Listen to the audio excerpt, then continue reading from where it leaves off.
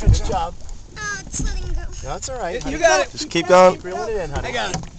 There, good Nice. job. All right, Amber. She's got a pike.